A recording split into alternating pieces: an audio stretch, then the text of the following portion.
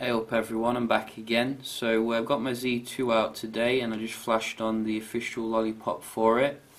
Uh, I wanted to see how it was uh, and uh, I have to say I'm going to keep this video a bit shorter because it's pretty much identical like to the Z3 and its uh, lollipop and uh, you know props to Sony for keeping like the older devices running a very nice similar experience to the newer ones.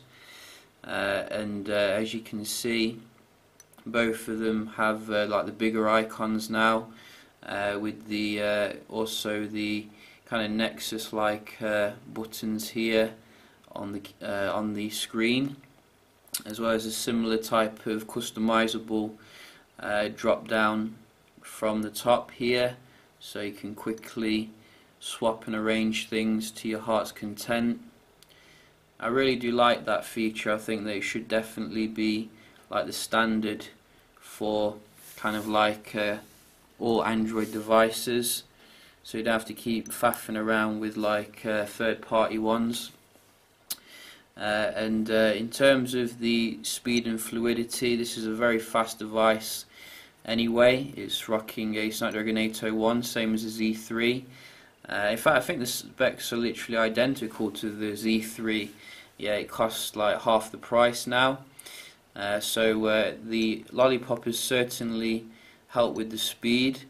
As you can see, going into stuff is uh, very nice and quick here.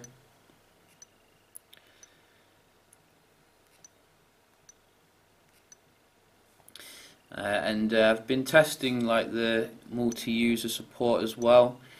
That's like I've set up uh, Jojo again. Uh, so we can see Jojo's profile here completely separate.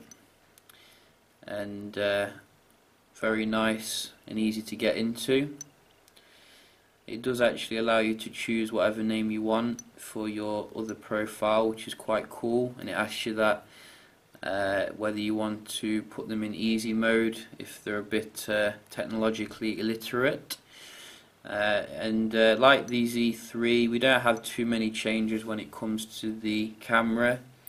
Uh, it's still uh, you know excellent snapper this is with the same kind of sensor as the Z3 uh, the ISO is not quite as high though so I think the Z3 has the advantage of the better low light pics but that's about it really.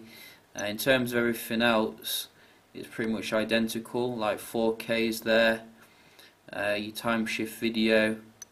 You see these lollipop kind of loading icons but other than that there isn't too much in the way of differences. Uh, and uh, the gallery seems to load very nice and quick as well a bit quicker than it was before I think. Uh, so uh, if we go uh, back into something else like the Walkman again very similar here. Uh, we have uh, all the excellent sound effects as well as the color changes uh, such as like this blue one which is very nice and when you go back out of it, it goes to purple. Really looks fantastic with this uh, Sony device.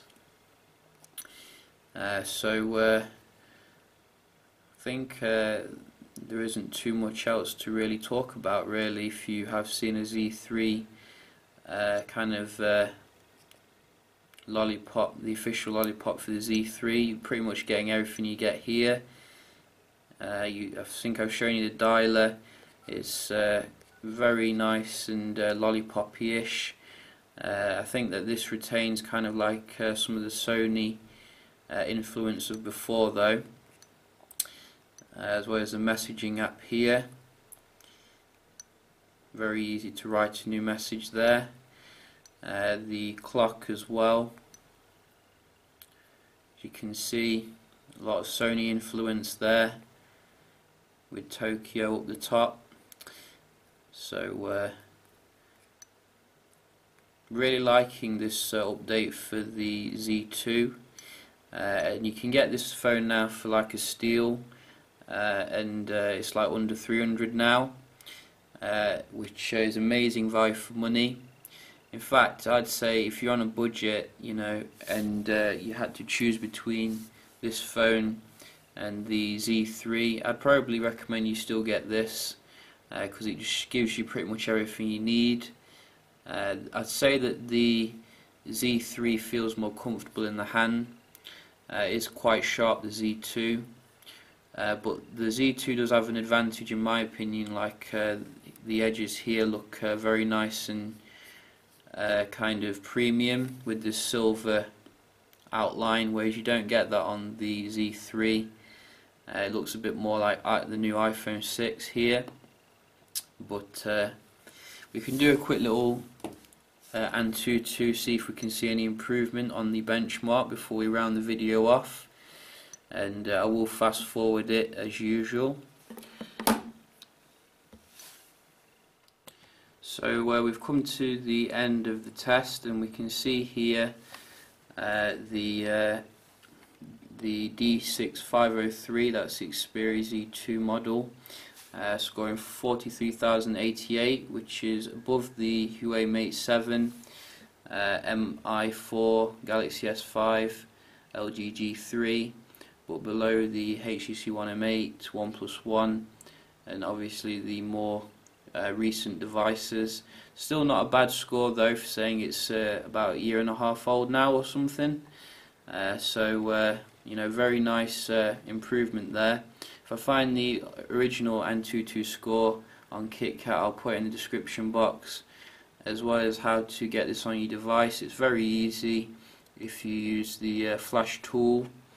Uh, so I definitely recommend you do that. Hope you enjoyed this little walkthrough video of uh, Lollipop, the official uh, stock uh, firmware for the Z2. Uh, and if you did hit the like button and I'll see you next time cheers